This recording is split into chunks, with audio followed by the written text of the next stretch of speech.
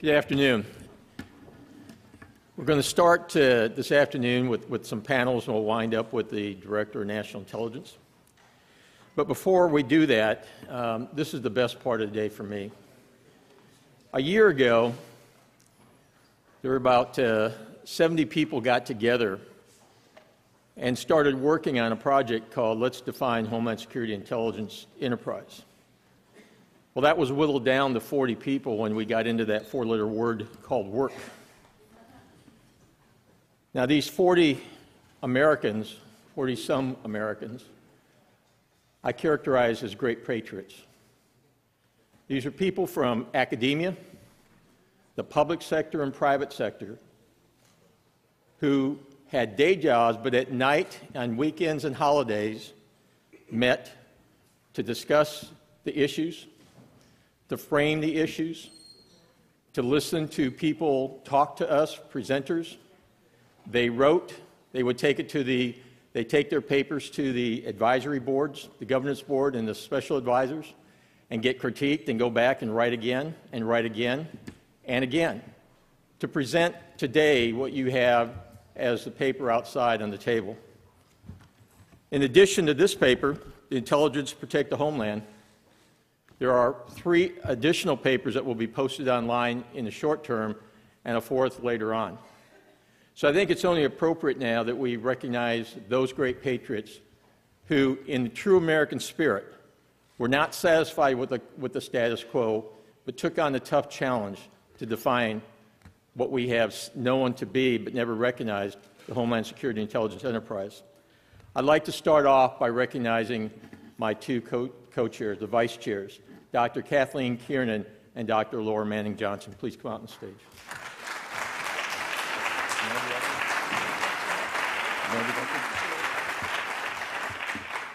We also had a dedicated intern.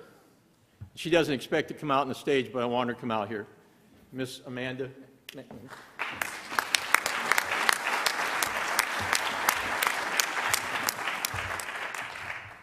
I'm going to recognize, I want you to hold your applause. I'm going to recognize the four, uh, there's five, two co chairs for one committee and three other uh, chairs for, for the subcommittees, I mean.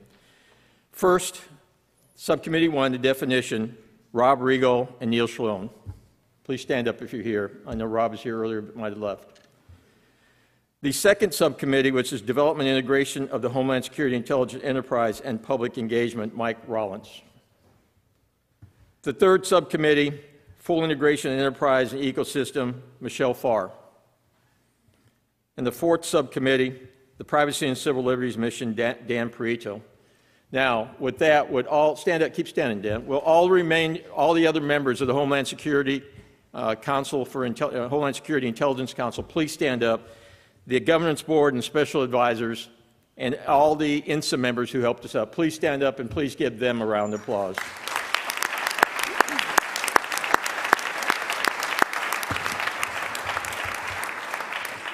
These are true American patriots. I turn it over to Kathleen.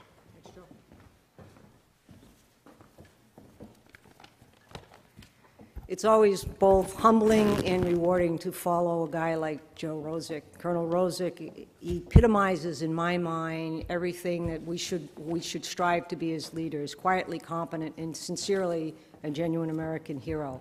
It was absolutely a pleasure to work with and, and serve Joe. I have the pleasure now of introducing just a dynamite panel, and let me start with Matt Olsen, newly uh, appointed director of the National Counterterrorism Center and had the opportunity, as the newly appointed director of the National Counterterrorism Center, to brief the president yesterday, which was pretty exciting, I, I understand. He's former general counsel of the National Security Agency, former official at the Department of Justice, a graduate of Harvard Law School, and a professor of law at Georgetown University. Next to Matt is Chief Cathy Lanier of the Washington Metropolitan Police Department. Cathy earned her bones in the street beginning in 1990. She was part of and led all aspects of the uniform patrol and tactical operations of the police department. Cathy also represents the very best America has to offer in the law enforcement world. She, she holds dual, dual masters from Johns Hopkins University and the Naval Postgraduate School. Next is John Pistole, currently the administrator of the TSA, following a tremendous career in federal law enforcement with the FBI, earning the rank, and earning is, is much more important than being appointed, earning the rank of deputy director. Under his watch, TSA continues to grow as a risk-based, intelligence-driven counterterrorism agency dedicated to protecting our transportation systems. John also has a law degree from Indiana University School of Law. Next is Suzanne Spaulding. She is recognized around the world as an authority on national and homeland security issues, including cyber, critical- infrastructure, CBRN weapons. She served as the minority staff director of the HPSCI and also as the general counsel for the SSCI. She was the assistant uh, general counsel for the CIA prior to that, and she currently works in the field as a practicing attorney. This panel will be led today by Jeanne Meserve, and when I was thinking through her career, I had to draw a parallel to law enforcement. Investigative journalists have a kindred spirit with law enforcement officers. They see the world through untinted glasses, they speak the unvarnished truth, and seek always to examine the most complex of issues. Please welcome a highly acclaimed anchor and reporter, and a woman used to driving world change in a marvelous panel. Thank you. Kathleen, thank you.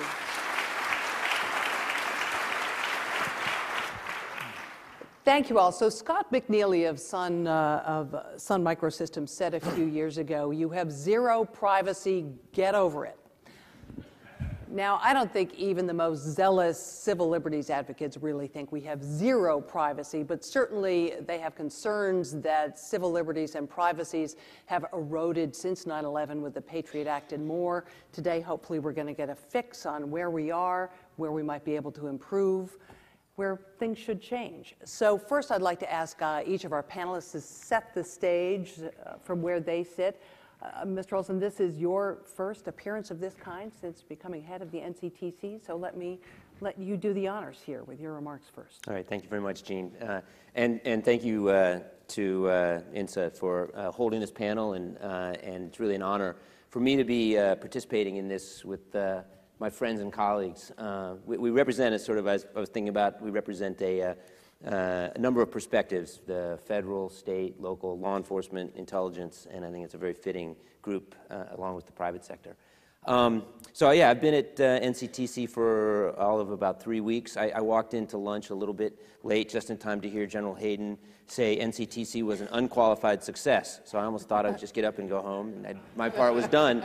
Um, but I can't take credit for that. Uh, Mike Leiter, my predecessor, uh, Admiral Redd uh, before him, and uh, John Brennan, uh, who helped start the whole thing going, deserve the credit for that. Um, but I hope to continue that, that, uh, that record of success. Um, so I'll just say a, a, a, couple words about NCTC, what our mission is, and, and then a couple of quick thoughts uh, about uh, uh the, the, privacy uh, and civil liberties issues uh, that we face. Um, you know, first of all, as, as, most of you know, NCTC was created post 9/11. It was a creature that of, of that tragic day. It grew out of the the work of the 9-11 Commission, and then Congress in 2004 created NCTC. We uh, really help lead the government's efforts to combat international terrorism.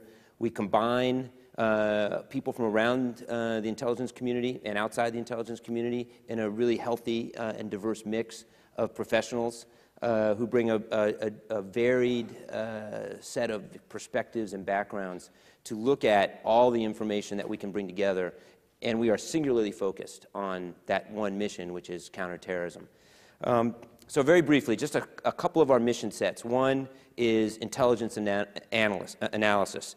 Um, by law, NCTC serves as the primary organization in the U.S. government for analyzing and integrating all intelligence about uh, terrorism and counterterrorism. Uh, we have a unique res responsibility to examine international terrorism issues uh, that span geographic boundaries we analyze intelligence regardless of where it is collected, uh, whether that's inside or outside the United States, and we have access to essentially the entire catalog of counterterrorism information that the government possesses.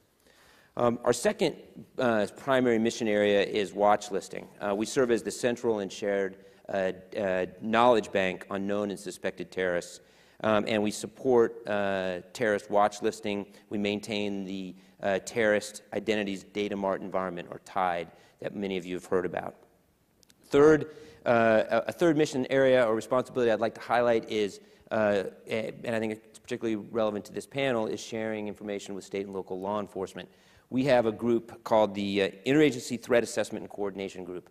But in a nutshell, it's a, it's a small group of professional first responders from around the country who come and serve at NCTC, led by DHS and FBI, and their responsibility is to look at all the intelligence that we are producing and seeing, and, see, and, and to take that information and turn it into products for first responders. So we have a product called Roll Call, unclassified uh, uh, uh, piece of analysis uh, that is designed uh, specifically for a first responder audience.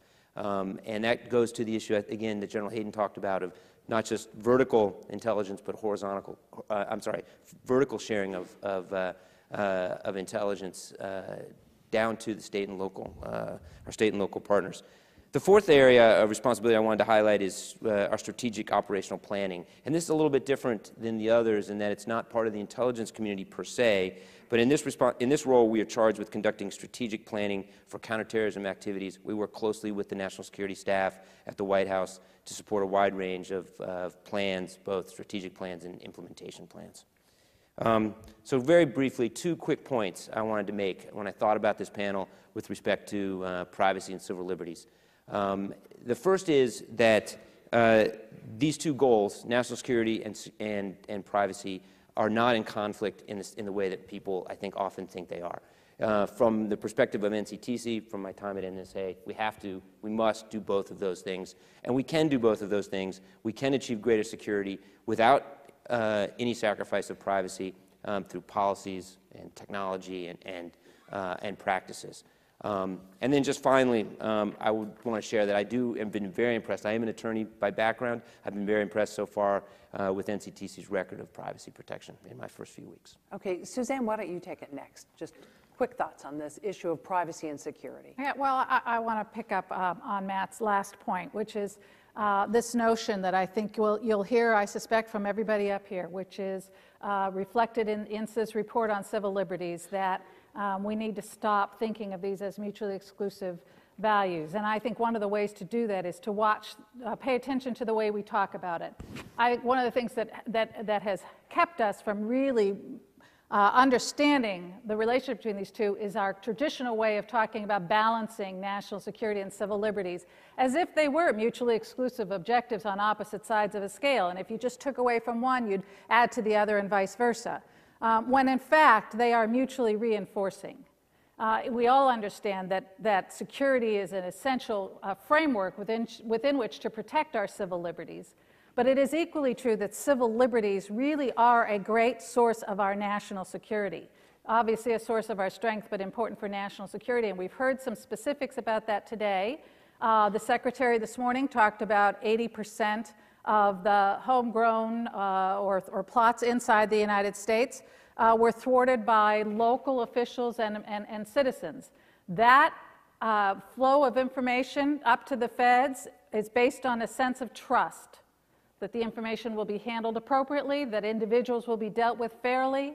That system to preserve civil liberties is an essential part of that national security structure. The relationship with communities that are going to detect problems can only be maintained if we preserve civil liberties. And, and I know that this is what the framers had in mind because this was a group who put together this system to preserve civil liberties and a system of checks and balances, not of fuzzy headed liberals, but of very hard nosed, pragmatic individuals who had just fought a war, who knew perilous times were ahead, who were choosing a system they thought would be best guaranteed to preserve this very fragile nation. Chief Lanier, it seems like the perfect place for you to jump in. Well, you know, it's uh, a lot of questions have come up about local law enforcement's integration into this information sharing environment and how um, they will factor in the civil liberties, civil rights, and privacy issues. But the reality is, is that that's integrated into our everyday operations. We deal with um, the most critical balances of civil liberties and privacy and civil rights every day. Think about my average day pre 9 11 We deal with um, gang violence, identifying gang members, validating gang members, striking that balance between intelligence gathering, criminal predicate to store information and use information in a criminal prosecution. Um, everything from you know dealing with large protests that come to this city and uh, doing threat assessments that may be posed because of those uh, large protests. All of those things are uh, deeply rooted in making sure we have good privacy policies, we have good management of those policies, and that there's oversight for those things. The, the critical thing here is that the stakes are much higher. I mean, that's the difference. I think we have a real good understanding of making sure we have that transparency, the community outreach, having the connection to our community, and that they trust the, that law enforcement is a legitimate um, partner in this, in this fight. So what's most important for us now going forward into this information sharing environment post 9-11 is that we don't lose that legitimacy. We have to remain transparent. We have to be part of this fight. I think even more so in the past few years as the internal threat inside of the United States has, has grown. Um, so we, take that very seriously, and I think uh, as partners in this um, integration going forward with the information sharing environment, um, we have to really make that our priority because when we lose that legitimacy, I mean, think about it. After all, our source of information, our best defense is the community. If we alienate those sources, we lose the ability to detect, deter, and prevent. So we, we deal with that every day. That's how we close homicides. That's how we stop gang violence. Um, so we value that relationship, and we just have to make sure that that stays a priority going forward. Administrator Pistole, if anybody's been on the hot seat on this whole issue of privacy and civil liberties, it's you. So and we've enjoyed watching. it's so hot that he's moving around. so give us your thoughts. Well, obviously, uh, being the head of TSA gives a, a, person the opportunity to hear a lot of different opinions on the proper the balance between security and privacy. And obviously, with the creation of TSA in November of 01, two months after 9/11, the, the focus has been and will continue to be on the best possible, most effective security provided in the most efficient way, recognizing that we have to and strive to every time that we encounter a passenger, 1.8 million plus times a day, that we respect the privacy and civil liberties of each of those passengers. Now, the, the challenge is that each person in this room and, and watching has perhaps a slightly different definition of what that proper balance is. So for you, uh, something uh, may be uh, completely appropriate and, and, and, necessary for security, and for somebody traveling with you, they may say, that's way too far. I don't want to go through one of those machines. I don't want to be patted down. And so how do we give the highest level of confidence to the traveling public on every air flight, every flight, 17,000 17, plus flights a day in the U.S., over 50 million people a month, you know, just big, big numbers. You think of a business that encounters that many people and customer satisfaction surveys, uh, to, to be in the high 90% is, is significant. So based on things that we deal with, we tr uh, try to ensure that we are doing everything we can. There's two things I would highlight uh, that we are doing, have done, or will be doing that highlight the privacy, civil liberties aspects. One is our conversion of the advanced imaging technology machines to the automatic target recognition, which just gives a generic outline of a person, and uh, the passenger is able to see that right there. Some of you have been through that and, and, and see that, identifies an anomaly uh, for resolution. Um, I'm pleased to, to, announce today the, our, our, acquisition of 300 more of those machines, and so those will be deployed uh, airports that you travel through uh, in, the, in the next several months, and so that will increase the number of those machines that give us uh, that best possible security against the non-metallic type device, the bomb that we saw on Christmas Day 09, with the highest level of privacy possible. That's one. The other uh, issue that we're dealing with is part of our risk-based security initiative where we're trying to get away from the one-size-fits-all construct and recognizing that uh, as we can get information from people on a voluntary basis, uh, that we can then perhaps provide a different level of physical screening because we know more from an intelligence perspective. So intelligence is driving what we're doing on the front end so we can uh, do the physical screening perhaps in an expedited way. Again, that's all voluntary. If people want to share information with us, at this, at this first iteration, it will be through frequent flyer elite programs. Uh, in certain airports, we'll be rolling that out next month in four airports. And so we have the opportunity to uh, do some things that recognize we can provide the uh, best possible security in the most efficient way, recognizing the privacy and civil liberties of all passengers. Let me follow up on the imaging machines, which have been so controversial. I thought you might. Yes, well, I was hoping you would. we've been through this before. Okay, just show of hands. Have you been through an advanced imaging technology machine? Okay. Okay. I want to see the show of hands if you've refused to go through a body imaging machine. Am I alone? Two of us? Okay. Um, my question um, has to do with the fact that you've changed the machines now. You've changed this software, so you're not showing the anatomical detail. Is that an admission that TSA got it wrong? I think it's a, a recognition that we could do better. So the first, the technology, no, just being very, very frank, that, that uh, the technology that was in place uh, had all the privacy protections for that type of technology that could be in place. So a separate, separate room with an image operator seeing the image, never saw the passenger. The, the security officer who saw the passenger never saw the image. So, and the machines had, did not have the capability to, uh, to store or transmit the images. So, uh, as, as, as good as privacy protections could be built in for that technology were in place. This is the next generation, if you will, that gets away from that uh, outline of a, a specific person to that simply of a, a generic outline of a person, which again, in complete transparency, the, the passenger can see right there and they can say, oh yeah, I forgot I left a card in, in my pocket or whatever it may be. I'll let you off the hook for now. Suzanne, I wanted to follow up on something you said about this isn't a zero sum game, uh, that you can have both privacy and security at the same time. But in the last couple of days, a couple of developments, an appeals court ruled against the Justice Department when it came to tracking individuals with cell phones. And also, you had an AP poll that came out showing that a majority of Americans, if they had to choose between security and civil liberties, a small majority would choose not to give up their civil liberties. What I'm wondering is if 10 years after 9 11, we're seeing something of a backlash, uh, something of a, a rethinking of this issue, and does that pose security challenges it, challenges, or is that something we can and should embrace? Uh, Well, it's interesting. I, I- I think it is, I think it does reflect that the ground is starting to shift beneath our feet. Um, a- And I will say that it worries me as somebody who's spent many years in the intelligence community, uh, both at CIA and then in the oversight and on various commissions, uh, for my colleagues in the national security world who are out there running full steam ahead uh, under a, under a certain um, understanding about what America is asking of them. Uh, and I've seen this happen before, and they don't quite realize that the ground is starting to shift.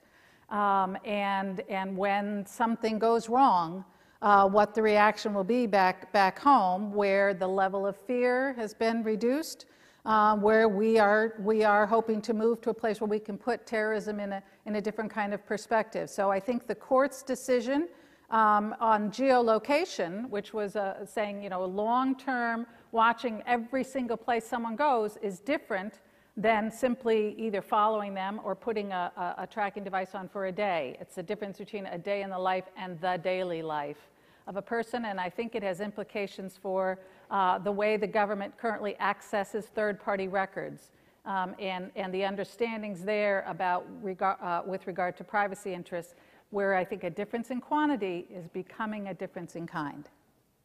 Um, Matt Olsen, let me ask you. Stewart Baker, former official with the Department of Homeland Security, argues that privacy campaigners have actually undercut security. Do you agree with that?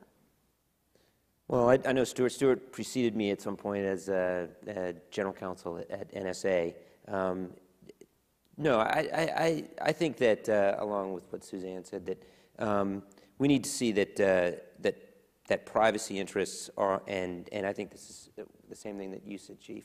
Um, you know, the, the- being transparent and, uh, and adhering uh, strictly to the letter and spirit of, of the Constitution and the laws that govern our activities actually builds confidence in what we're doing. It allows the people who provide us information, whether that's people on the street, um, other agencies, to uh, be confident that that information is going to be handled appropriately. So I actually think that that's a, that, that commitment uh, is a strength uh, and actually it, it has the potential and, and does in fact uh, bolster national security. I think the, the trick and the challenge at times is to, uh, again, I think this is along with, with, what you're saying, Suzanne, is to know where the lines are. And uh, the, the, the, challenge in the intelligence community uh, is, is, to, uh, those line, lines are sometimes blurry and the laws change and, and views shift. And what, what I see is what Suzanne identified, that it's very important for operators to have clear rules. And when we have clear rules, we follow those rules.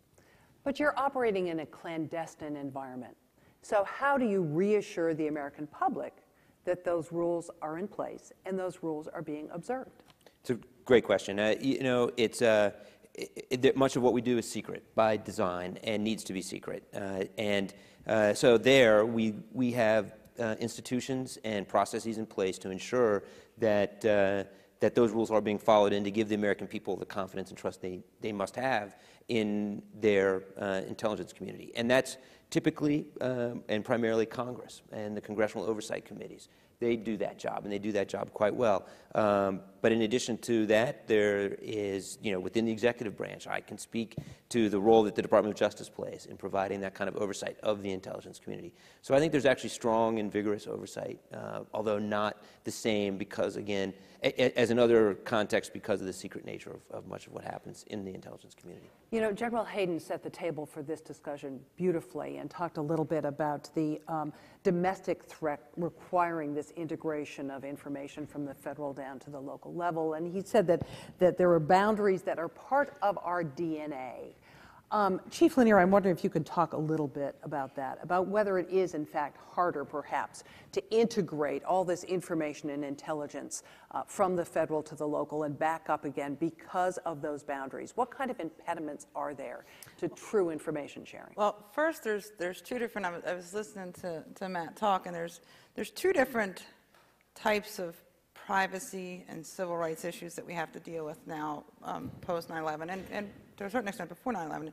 The first is the physical security. That's the, you know, setting up the machine that's going to make everybody go nuts trying to screen people going through the airport. You can do some things to, to lessen that by doing outreach and bringing in a small group of civil libertarians, have them you know, demonstrate the machine up front, get their feedback up front before you launch it. And so you can get input on physical security.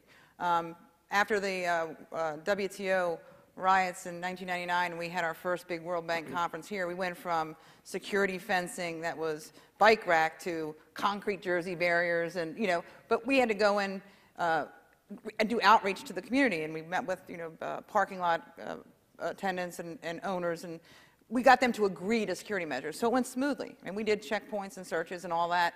Um, that normally would not go over very well, but because we had time to bring the community in and get their input, it, it worked well. With intelligence, it's very different. It's so much harder to go out and get that buy-in. Um, it, it's impossible to go out and get that buy-in from the community. But now my job in the local level is to get that buy-in from the community because I have see something, say something. I've got I'm launching a major um, iWatch program today. Uh, when I leave here. So I have to have some way to bring the community in to get that information and assure them that what is pushed up into the federal um, shared space or the intelligence community is something that doesn't infringe upon their rights. So, in other words, I'm not an agent for the CIA. well, let's talk about the New York Police Department. Which I then. figured you would.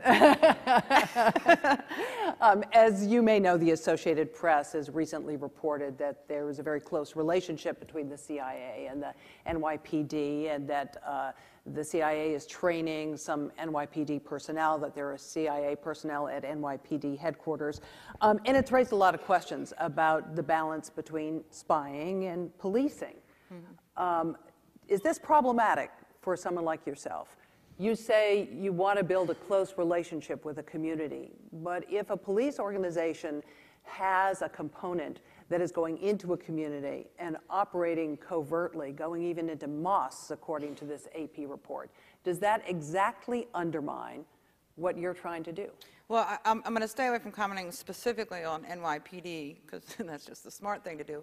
But um, I, I, will say that you know we've always operated on a principle that there investi- intelligence is a, is a process that is um, we get tip information or source information, we begin to investigate that.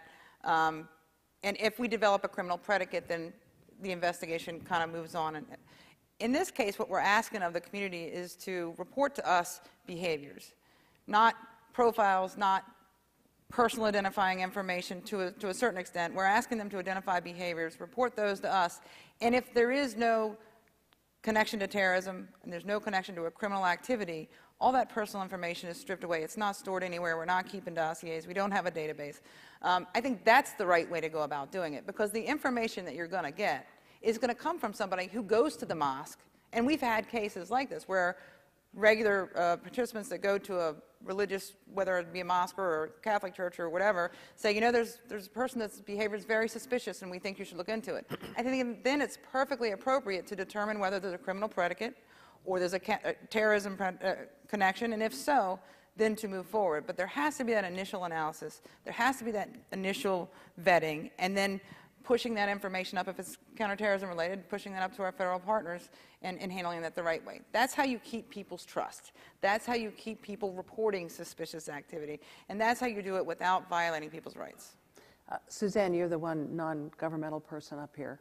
Your thoughts on that program as reported by the AP and its implications? Yeah, well, and, it- and, and um, it's hard to know what, what the facts are here. The- article itself pointed out that, that there was some pushback on, on their portrayal of the facts. So, um, like Cathy, I'm, I'm you know, going to be careful about uh, assuming the facts and, you know, that have been put out there.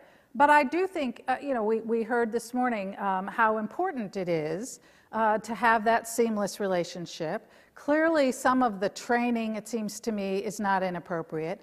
The thing that raised, uh, you know, real red flags in my mind was the assertion that there was somebody still on the CIA payroll who was sitting in Dave Cohen's office as his deputy. I think that's, uh, you know, clearly very troubling uh, in light of the restrictions that we appropriately put on CIA with regard to intelligence collection in this country, um, and, and, and the assertion that they were that the that uh, the other thing that I thought was very troubling was that the city council was not aware of, of a lot of the activities that, that are going on in NYPD. I do think that the issue of local oversight, uh, I think it's raised particularly by the JTTFs, um, but apparently it's also raised by some of the activities of NYPD. Making sure that you've got that local oversight by the mayor, by the sheriff, by the city council is, um, is critically important.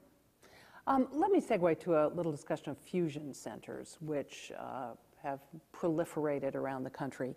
Um, and uh, they're engaged in some of this gathering and collating uh, and distribution of information. Um, DHS is now tied privacy policies to funding uh, in an effort to, to, uh, to address this very issue that we're discussing today. But is there inconsistency amongst the fusion centers? Matt Olsen, maybe you can tackle that. I'm, I'm tempted to hand it over to my colleague here from Mm. DHS. If, um, so I really don't, you know, I really don't have a lot of. TSA. ex- or- right, I know.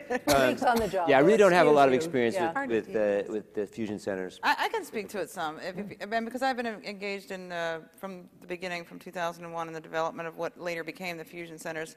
And, and I think uh, it was a very good move to ensure that um, fusion centers do have um, privacy policy across the board.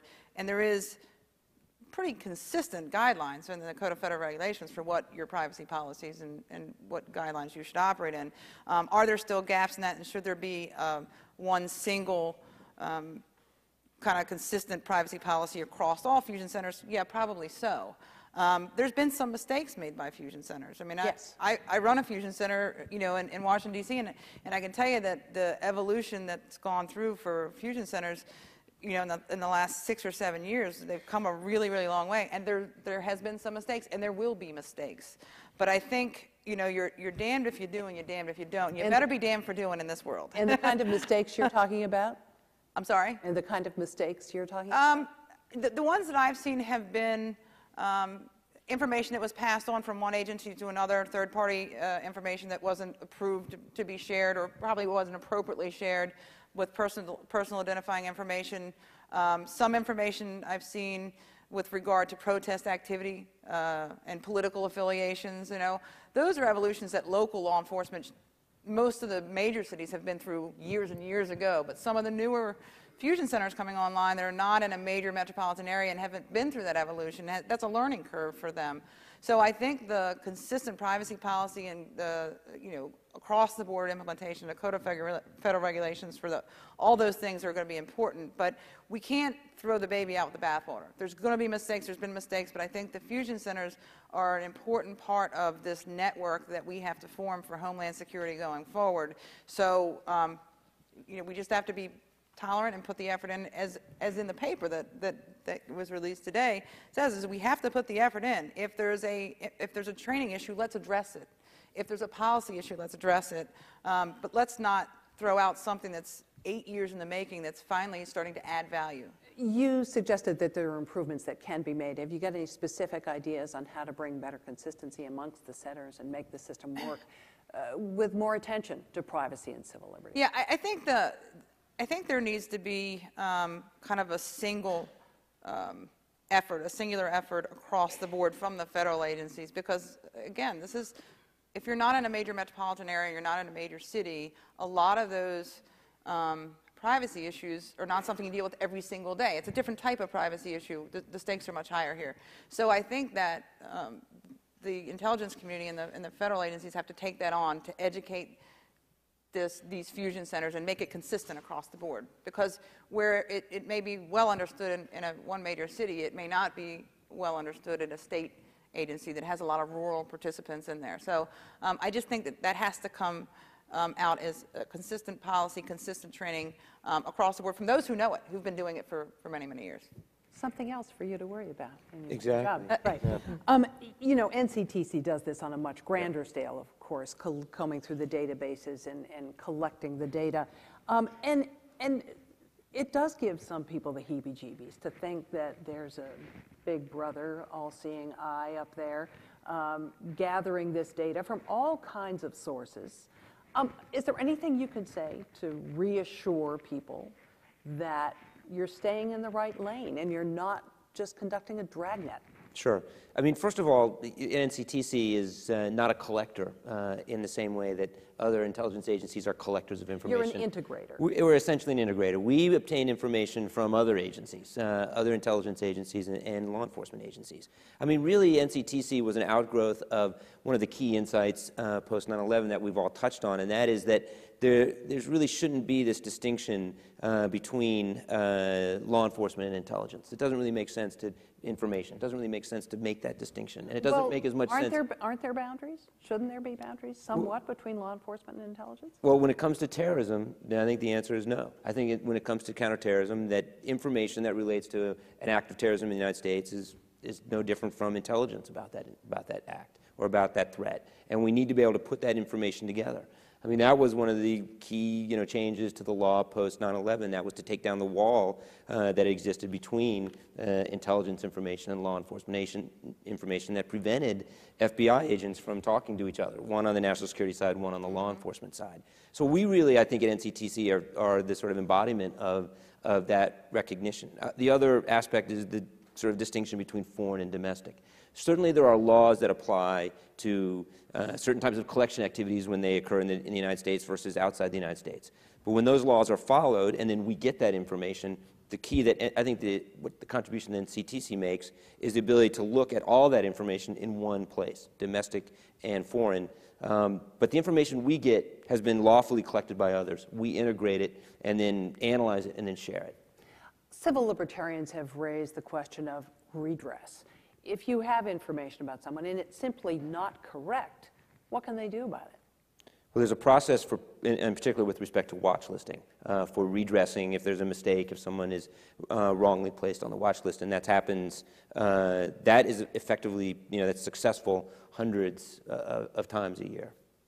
Uh, profiling, um, one of those words that comes up a lot when we discuss privacy and civil liberties, and Administrator Pistole on that score. I know NCTC doesn't profile, I know the chief doesn't profile, I know Suzanne does not. But does the TSA? The Here's TSA question. does not profile, so, yeah, so uh, obviously, there's been a lot of Well, talk about. The as we- behavior detection officer. Okay, sure. Let's talk about it in, in regards to that. Yeah, so the, the question about how can we use intelligence in a, in a more uh, informed fashion to make judgments about each individual, looking at the person rather than the prohibited items that that person may carry. Uh, That's one of the ways we want to, to go as an organization and trying to be a risk-based, intelligence-driven organization. That being said, we have to make sure that we don't profile, that we, that we use information about the person that they either share voluntarily through this known trusted traveler program that, that we're working on with airlines and, and airports who would provide a dedicated lane. That's all voluntary, so if somebody doesn't want to share that information, that's fine. They would go through the normal screening process. Uh, for those other uh, issues, for example, we have a number of behavior detection officers, and you've probably read about what we're doing at Boston Logan Airport. Some of you have been through there, perhaps uh, uh had a, a brief uh, conversation, engagement with a behavior detection officer, an assessor. The whole purpose is to try to get away from, from the one size fits all, to use what some people describe as an Israeli model. That's a, that's a very broad brush. But to use more information about a person, are they exhibiting any suspicious activity? Any uh, cop, any law enforcement officer can tell you in, in just a few seconds, really, of talking to somebody, is there something up about that person? So the whole idea is to take that information and use it in an informed way and to, if, if feasible, to expedite that person's uh, screening or uh, do, do, we need some follow up questions? So that's the whole premise behind it. As we um, move forward with that, if uh, we'll, we'll, see, do we need to recalibrate? Do we need to make sure? You know, I got to jump in on the profile jump. thing for just a second because you know profiling became a dirty word because of issues in local law enforcement. So I, I but I have to say that it's not necessarily a negative thing if profiling is looked at appropriately and done the right way. The drug courier profile on mass transit for many, many years was very successful. You know, person pays cash for a one-way ticket, no luggage. Um, it just it identifies something that is an anomaly that was consistent with drug courier profiles. It didn't make reference to race or you know any of the things that are associated with negative profiling. So I think you again you can't throw out the baby with the bathwater here. There are some positive ways to profile behaviors, to profile other things other than physical characteristics that can help you decide if there's a more intensive look that needs to be taken. So I think just the whole concept of profiling all being negative is a bad way to look at it. Um, we're getting some great questions in from the audience. There are cards. If you've got questions, send them in. I'm going to start using some of these because they're good. Um, Chief Lanier, one of these is a follow up to something you said about discarding information if you don't find a, a link, uh, you don't find anything detrimental. Um, this questioner asked, don't you run the risk of later finding it was one of several warning indica- indicators?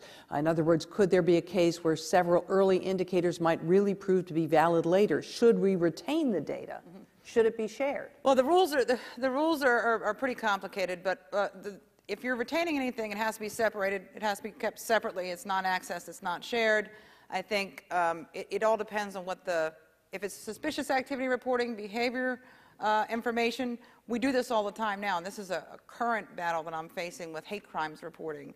Um, tracking hate incidents versus hate crimes, um, there's a real demand for me to document incidents where uh, people are, um, say, verbally harassed with hate speech. Hate speech is not a crime. I mean, look at von Brunn. The FBI took a beating on von Brunn because he was a known hate monger, but he had never crossed the line to anything criminal. So you, you, really don't take any action. So we have to meet that balance again. So my balance is for me to track those incidents without tracking identifying information because no crime has been committed. And then using that as an analytical tool more so than an investigative tool. And that's the, the balance that we have to, to strike. So that information is retained in that sense, uh, but if we keep anything identifying at all, it is separate from anything else, and it still has to be purged if there's no criminal predicate associated. And, and Jeanne, I'm sorry, but I, I, do think when we talk about data retention, because I've heard this argument for years, um, that you shouldn't throw away any information you ever, you ever got because someday it might be relevant to something. And I, and I think it is a reflection of a, of a larger problem in this whole arena, which is this chasing the myth of risk elimination rather than acknowledging that what we're engaged in is an exercise in risk management. So it's, it's both recognizing that there are national security costs to privacy incursions. So there's some cost there to keeping that data, not to mention the potential risk of a cyber incident and that information becoming public. Um, and recognizing that every little thing that you, you, know, that you, that you might want to do um, is, does not mean that you should pursue that. And that, in fact, uh, when you chase that myth of risk elimination, you're ignoring risks that you're creating by doing that in other places. And retaining everything uh, may, may make you feel you've eliminated the risk that you won't have that information when you need it, but you've created a risk uh, of, of, of public backlash and of exposure. And I'm glad Suzanne mentioned that because that's the whole approach that we in TSA uh, are, are taking in terms of uh, ensuring that we are doing the best possible job to mitigate, to manage risk, but not to eliminate risk. If we, if we truly want to eliminate risk, we would have at least two hour lines in every airport worldwide global supply chain cargo would be shut down uh, weeks at a time. So the and whole, you still wouldn't have eliminated. And we still risk. wouldn't have that. So, so the reality is that we are in the risk mitigation, risk management business with the traveling public, with airlines, with everybody in the mass transit area. You mentioned cyber. Let me turn a corner there, if I could. The systems in which you store all this information. How safe are they? Every day we read about another incursion into a government database by some foreign entity? Well, I, you know, I, think there's, there's reason to be concerned about the security of all, this information uh, from a cyber perspective. I don't think you, can hardly pick up the newspaper and not read about uh, some sort of cyber intrusion, whether at a, government agency or, or, a, company. So I, think there's real reason to be concerned, and, I know that there's lots of effort being put into to ways to try to protect that information.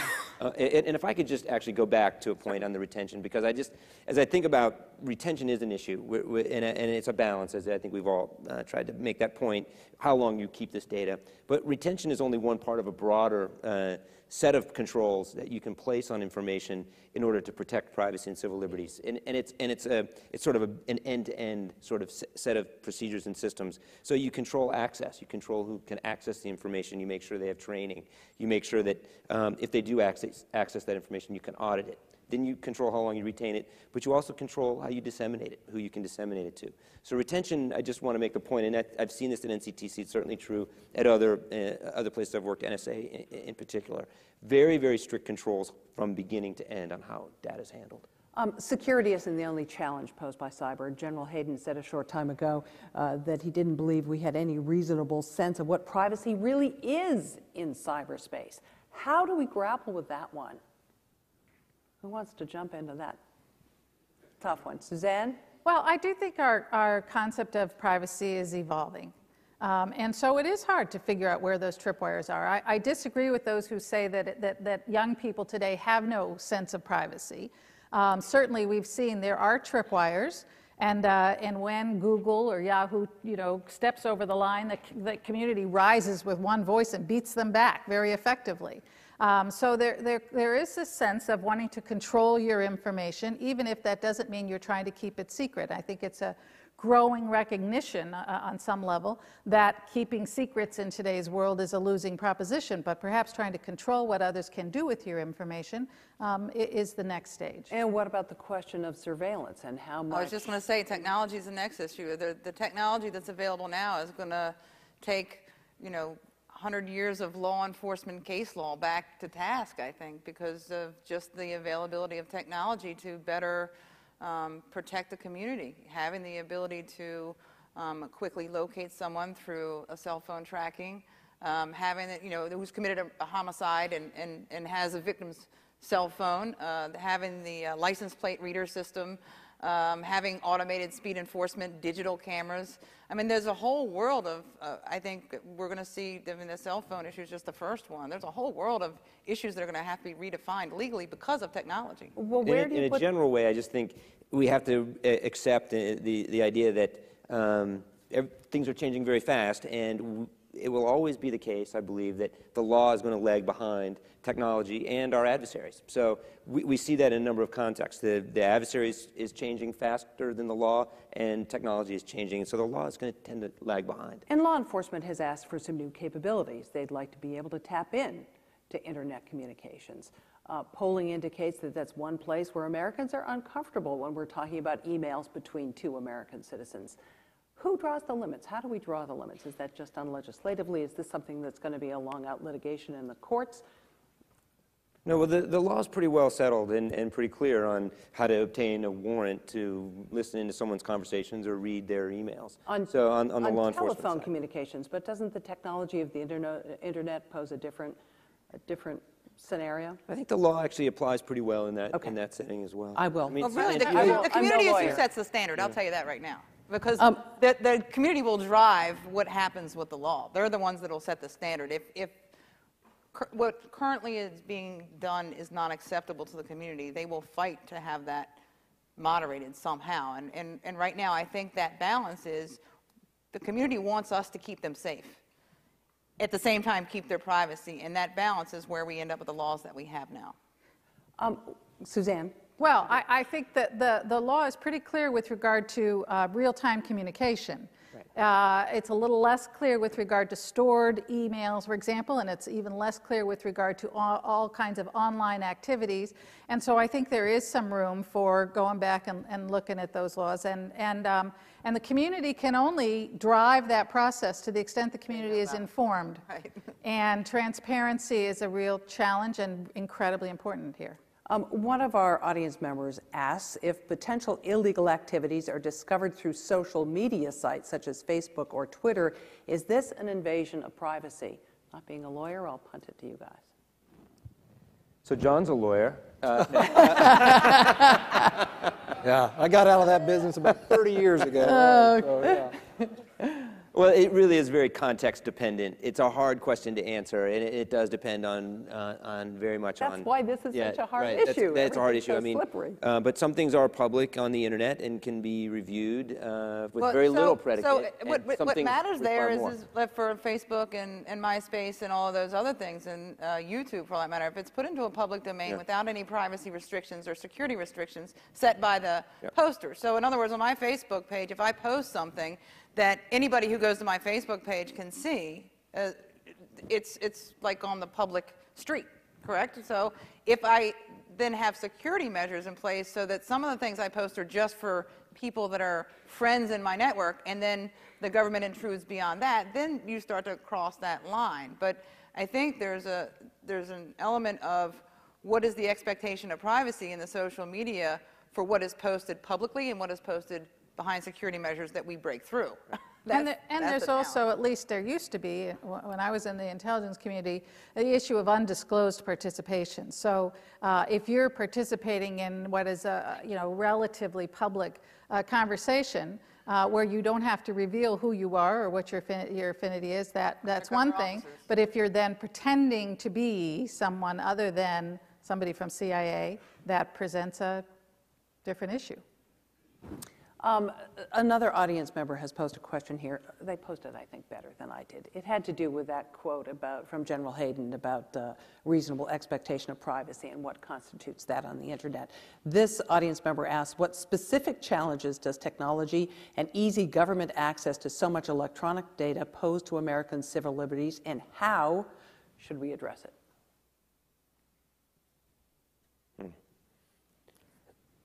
So, I, you know, I- Speechless. again, I'll take, I'll take a little bit of a stab at, at it, because I, I think it is a big and complex question. But uh, I do think that uh, creating a sense that the government is out there watching and listening um, in a very broad way uh, really does, again, goes back to my point of undermining our national security to the extent that it breaks down a sense of trust that it chills conversations and activity that is perfectly legitimate uh, because I think we derive a great deal of our strength from that marketplace of ideas, from, you know, I mean, there, there are real national security costs to chilling legitimate activity. So, um, so I think there are some national security consequences to the government's ability through the use of technology to, for each and every one of us to, to know intimate details of our day-to-day lives from moment to moment because of uh, technology and the ability to access records, surveillance, et cetera. And I think we need to think about that.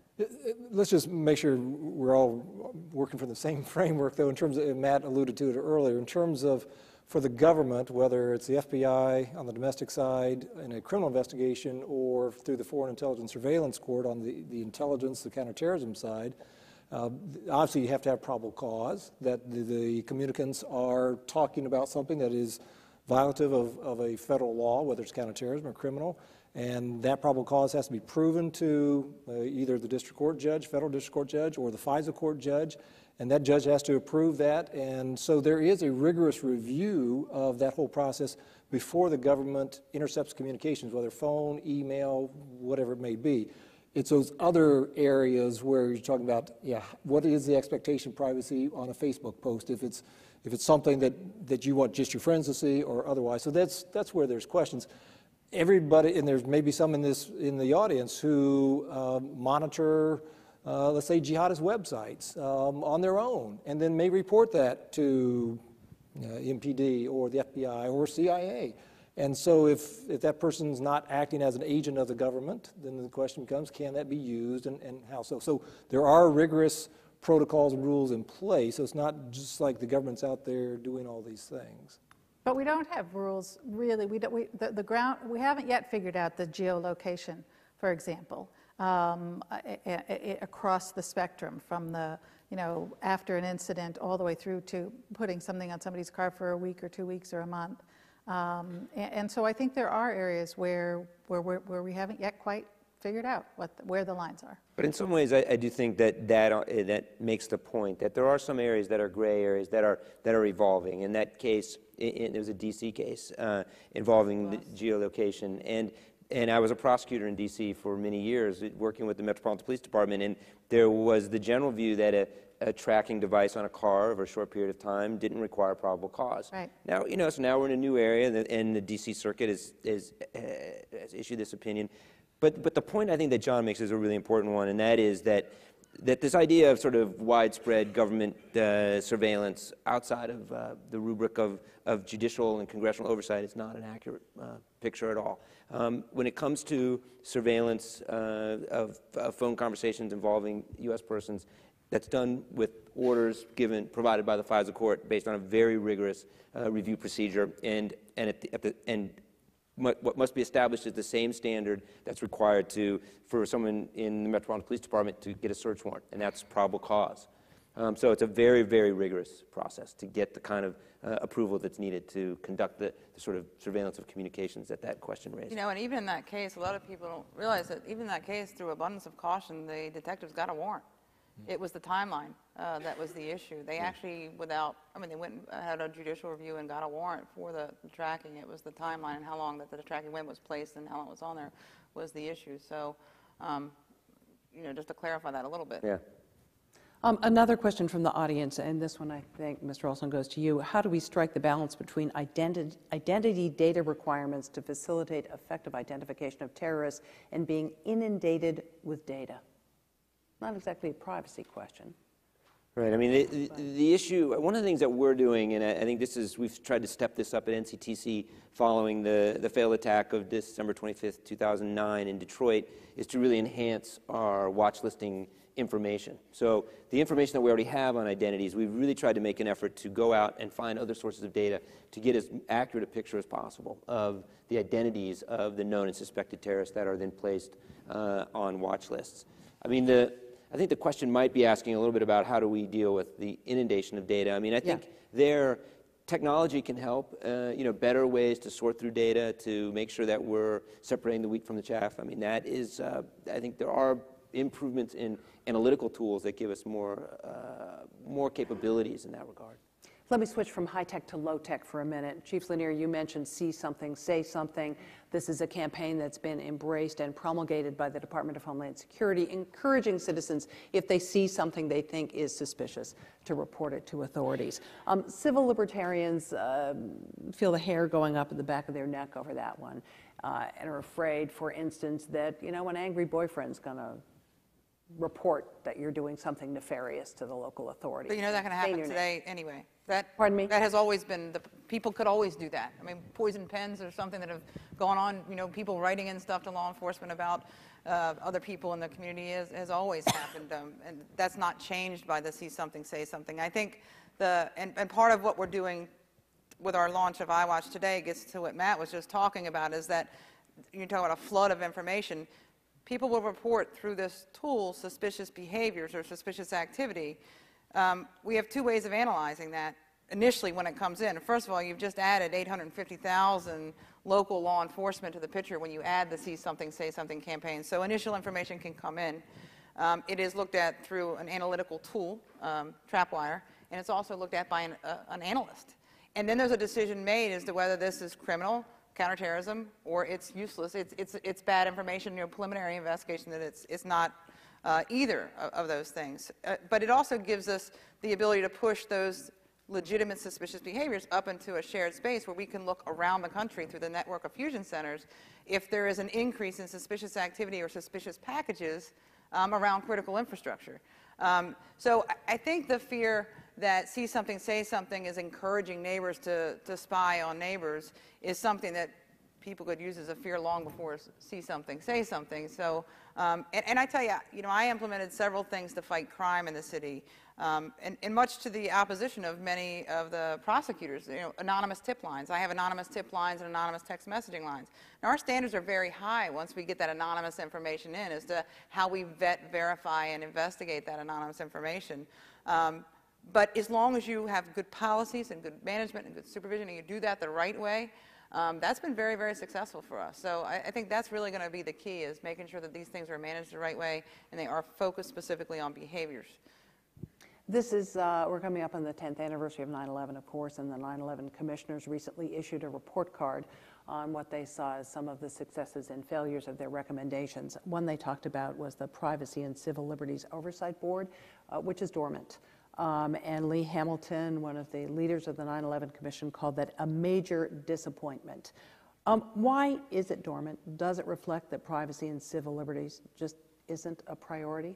Suzanne, you want to take a stab at that? No, I think John Brennan addressed that. I think they've had a very hard time, uh, you know, filling the chair uh, position. Um, you know, it does um, raise a question about whether it's been high enough on the priority list. Has it? Um, you know, I'm not inside, so I don't know where it is on the priority list, but it seems uh, it's, it's very frustrating and very disappointing that this many years into the administration they have been unable um, to fill those positions. I, I, think it's a very important um, role and, a, and, an important body, and, and they need to have somebody in there who has real credibility with civil liberties folks. How would it make a difference, and what's happening in the interim? Ideally, what you would have is, is uh, then this, this body of individuals uh, that are there when, the, when these policies and measures are being discussed from the outset.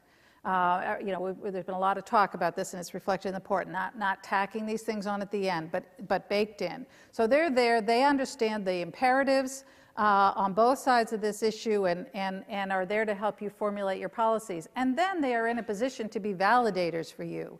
And in this area where we have so much secrecy, um, you know, it, it is like the oversight committees, important to have credible voices who can come out and say, I'm on the inside, I know all about this, and I'm comfortable that, that we're doing this the right way.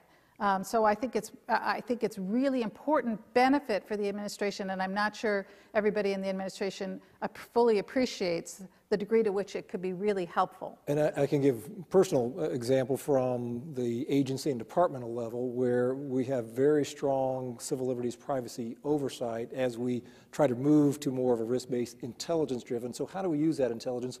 What intelligence can we use? How long do we retain data? Things like that. And Mary Ellen Callahan uh, from the department is here. Margo Schlanger also uh, in, terms of privacy.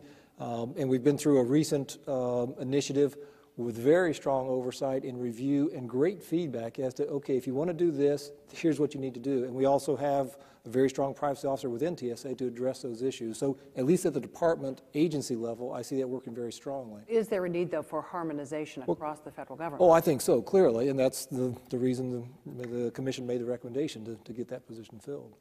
I want to take one more audience question here. Uh, Matt Olsen, this one's for you. How do you ensure that the appropriate federal agency is involved at the local level? Uh, this person raises the reports about the CIA and the NYPD. Are they the appropriate people to be interfacing with the NYPD, or should it be the FBI? Did someone overstep, and who was it? Yeah, well, from NCTC's perspective, we, we work uh, with FBI and DHS in our interaction with uh, Chief Lanier and the, the, the state and local uh, agencies. And I mentioned before, we have an organization that helps us write things that then get downgraded and sent out to uh, state and local police officers. I, I would say, so I, I really, from my perspective, it's FBI and, and DHS. And, and going back to something you said, Chief, that, you know, having, having been a prosecutor, you know, the, the level of intelligence that police officers on the street produce every day, both um, from information they're getting from the street, but also from the criminal justice system, that, the, that the, the, the level of intelligence that's generated out of the criminal justice system is pretty phenomenal. There's almost not a murder that uh, uh, in D.C. you couldn't go to the police officer on the beat and say, well, who, who do you think might have been involved? It's a long way to get from that to evidence in a criminal case, but it's very important to realize that what you're doing is intelligence on the street. Um, Suzanne, when we had a conversation before this panel began, uh, you talked to me about the concept that the American public owns this government. And as the owners of the government, they should know what's happening inside it. I can tell you as a reporter, our efforts to find out what's happening inside the federal government have frequently been thwarted uh, by, we're told that information, for instance, is SSI and can't be released. Is there overclassification? And is that hurting this transparency that we're talking about so much? Uh, I don't think there's any question that there's overclassification. I don't think there's any disagreement about that. There may be some disagreement about the degree, um, but there's no question that we have a system that, that, that classifies by default, and as a result, we have, you know, overclassification. I- think more fundamentally, uh, we have uh, too much uh, classification and not enough transparency that is premised on, again, this illusion that somehow we really can keep this information secret. And, and given the counterintelligence challenge we face today, my worry is that the, we're not keeping it secret from our adversaries. We're only keeping it secret from the American public and from others who could help us and would benefit by getting that information. Clearly, one of the big challenges in the necessary cooperation with, at the state and local level and with the private sector is uh, classification. And the answer, to my mind, is not giving out more clearances and bringing more and more people under that classification tent. If Dana Priest is right, and we have o- almost 850,000 people uh, with clearances, that's a lot of people with access to your deepest and darkest secrets potentially. Well, so that's not true, though. I mean, there, there are 800,000 people with access to the deepest and darkest secrets So of give the us the real people. number. well, no, it's just, it's just an exaggeration. It's just an exaggeration to put it in those terms. Yeah. It's just, it's, I had to try. Well, But I, but I do think, but I do think uh, that, that the, the point really is that we need to find ways to get that information, as was said earlier today, to be releasable, rather than continuing to classify and try to get and solve the, the sharing problem by giving more and more people clearances. Um, it seems to me that's not the right way. So I'm trying to stay in my TSA lane, but with almost Oh, 47 come years of. FBI, I just Be wild. Just a Get out discussion. So one of the, one of the key changes in the FBI post 9/11 is on the information sharing and the whole idea of of going from a fairly restrictive sharing, not necessarily based on classification, but just on need to know, Need to know. typically evidence for Need to criminal know the prosecution. killer. Um, so the question became then, how can the Bureau change to deal with the new reality of, of the integration? And it really became, and there's people in the room uh, res- partially responsible for that, but share by rule, withhold by exception on a need-to-know basis. So as many people as needed to know, that information was pushed out to. But the key became, did they actually need to know? And so as to your SSI point, the, the question becomes, an individual uh, Intel product or an SSI document in and of itself may not reveal any deep, dark secrets. When you compile those in a way that can form a picture of, let's say, security checkpoint uh, uh, capabilities, uh, detection capabilities, well, we know that bad guys look at uh, the TSA website, for example, look at manufacturers' websites to say what are those detection capabilities and can they go to school on that to come up with a new type of device that defeats those capabilities. So, so yes, that is important, but that need to know is, is still part of that equation. Matt, do you want to weigh in on this? No, I, I just I agree with that. I mean, I, I think that there's uh, there's a need to classify a lot of the, inf- the information that we're talking about in terms of protecting sources and methods, and it's important to acknowledge the, the role that that classification plays in protecting the, the ways that we are able to obtain information or, or mean, it goes back to the last few terrorist attacks. Think about some of the information. You can almost surveil a target and get all the information you need to carry out an attack through, you know, the internet, all public information. So what is it that you can withhold um, that's reasonable to withhold to, you know, increase security or make sure you maintain some security? I mean, almost every exercise we do, we'll red cell an event or a site, and we red cell it all on the computer. It's all news clippings and public information that you can pull off of public sites. So where do you draw the line on what you can release and how that gets put out there can be used against you? So, and one of the one of the things I think is really important that is part of this whole conversation is the effort to take intelligence information, counterterrorism information, and uh, push it out. DHS and FBI do this to, at, an, at an unclassified uh, level, so that state and local police officers and departments can use that information to have a better idea what to be on the lookout for. And the more you can uh, uh, declassify, unclassify, not classify information and shrink the universe of information that you're really trying to keep secret, the better off, the better your chance you're going to have of keeping that really sensitive information secret. That's right. You said, Suzanne, ear- early on that this isn't a zero sum game, that you can have both. You can't always have both, though, can you? I mean, we can't sugarcoat this and say, yes, embrace transparency in every instance. And it's not, the point is not that they don't come into tension on occasion. The point is that you have to recognize the national security costs of uh, privacy intrusions, of intrusions on civil liberties, of weakening the system of checks and balances, Which of, are? of, of failing to have adequate transparency.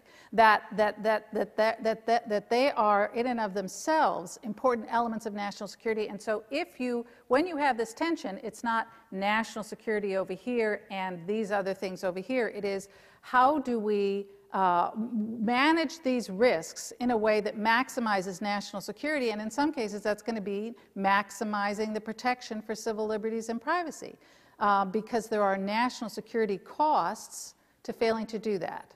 So it's not just we need to do both, and it's nice to try to do both, and they never run into, into tension. It's recognized the national security costs of failing to deal with that. What are those costs? Can you be more specific? So again, I think that I think the folks who are on the front line fighting this every day have been very eloquent, particularly Chief Lanier, about the costs of uh, undermining the trust that you absolutely must have uh, with your communities and between the state and local and the federal level. That I think that's one of the you know very fundamental ways in which that's a national security cost. Someone earlier, Ozzy uh, from CSIS made the uh, co- comment earlier today about the most important thing that their study concluded was that we need to not fuel uh, the, the terrorist rhetoric, the narrative um, that allows them to recruit, and that is that the U.S. is at war with Islam. Well, that's a, that means there are very real national security costs to the measures we might take that would perpetuate or allow terrorists to, to claim that this is targeting, this is profiling Muslims, that increases sense of alienation from, from the rest of society, that, that make them feel as though they're unfairly targeted. That's not just a, a, a civil liberty value, although it is in and of itself, it is a national security imperative. Does the polling data that I referred to at the beginning, that people right now are more interested in preserving civil liberties than securing the country, does that indicate that we haven't got it right yet? What do you think? I think it's fascinating, and I, I, I would I want to read the question.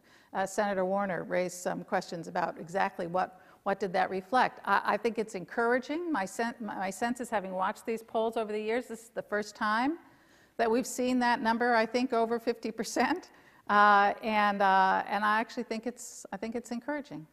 And worrisome at all to those of you on the enforcement side? It's, it's not worrisome to me. I, I you know, I, I think it's. Uh, I think Suzanne put it well. I think uh, we need to continue to work at this, and it and it's a very dynamic environment, and those polling numbers could change. I think we need to also realize that it could change pretty Especially if quickly. something happens. Something happens. Exactly, and and so I, I think our it's incumbent on us as as leaders in this community to try to give guidance and direction to the people that that work around us, and to and to be as clear as possible about the rules. Again, my experience has been at Justice, at NSA, and now at NCTC that the people on the front line want to know what the rules are. They are committed to following the rules. It's just sometimes hard in a very uh, dynamic and fast-changing environment to know exactly what the law is on a particular time or day. And so, uh, and when what the poll, the polls are even more fickle. So I think our, our responsibility is to, is, is to be leaders and to be, give direction and guidance. And, and, but the, the bottom line is people are trying very hard to follow those rules. And that sounds like the perfect place to wrap it up. Thank you very much to Matt Olsen, John Pistole, Cathy Lanier, and Suzanne Spaulding, to to CSIS for letting us have this discussion, and for all of you for listening and for your input with your questions. Thank you.